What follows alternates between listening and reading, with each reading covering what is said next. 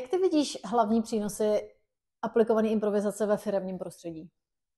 Vidím je hlavně v tom mindsetu, který aplikovaná improvizace přináší, což je nebát se dělat chyby, experimentovat, yes endovat, což je velmi progresivní způsob toho, jak eh, posouvat věci dál, hlavně mhm. v době, kdy inovace okolo nás lítají eh, z jedné strany na druhou, je potřeba umět chytat příležitosti a vůbec eh, správně k ním přistupovat a podporovat, a umět ty věci, které nás napadají, kreativně rozvíjet a hlavně i umět předávat.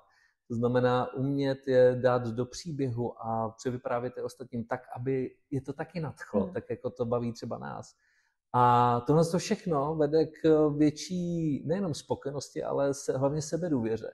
A v okamžiku, kdy se t, pracuje na firmní kultuře tím způsobem, že se tam posiluje sebedůvěra, no tak to má samozřejmě vliv potom i na výsledky celé té firmy.